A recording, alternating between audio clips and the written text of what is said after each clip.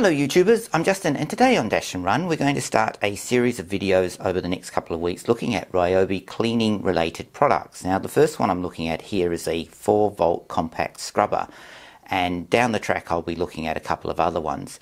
But for this video let's get this out the box, have a closer look and see if this is something you might want to get too.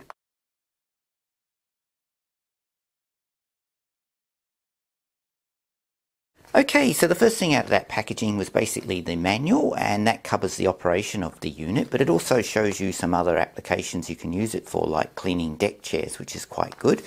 So that's the first thing that came out that package. Next is this rather short USB to micro USB cable and this is for charging the device because it has a built-in battery unlike other Ryobi tools where you have a uh, separate battery. So that's also included. Comes with one scrubbing brush. Now you can get more of these and these are quite easy to get from various hardware stores so when this wears out you can easily buy another one to replace it. So it does give you one at least. And finally we've got the scrubbing unit itself and as you can see it's pretty small. Now it weighs um, 400 grams all up and it's quite nice and compact in the hand. Now on the bottom is where the charging port is with this little plasticky sort of rubbery thing to cover it and that's where you will charge the internal battery. And that's also to give it some water resistance. I mean it's not 100% waterproof but it is water resistant. So you can use it um, you know in a bathroom and sort of and various other areas where you're going to have water around it but you're not going to submerge it of course. Now it basically only has one very large button here and this basically when you push it turns it on when you push it again, it turns it off. And you can also sort of hold it a bit and operate it as an on and off sort of switch just to move it in and out without having it pushed entirely in. So next, I'll get this little um, part here, which just basically clips in, which is great. And it locks in quite fine. It doesn't feel like it's going to um, come flying off. And next, I'll just operate the actual unit.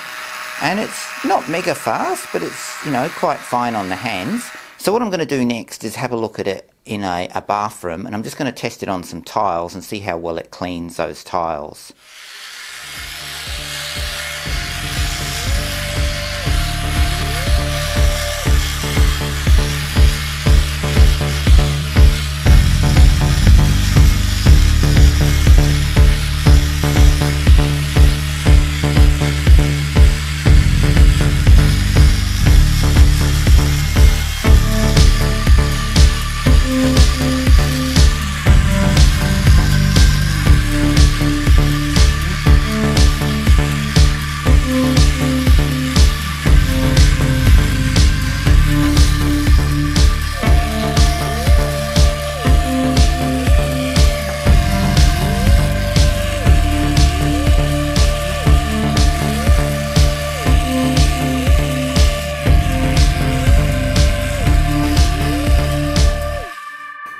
Well there you go, there's my quick unboxing and look at this 4 volt uh, compact scrubber and overall I think it's reasonably decent. It uh, does what it says it does. It's basically fine for small jobs like in your bathroom or doing deck chairs or even around the sink and for the price it's definitely quite usable.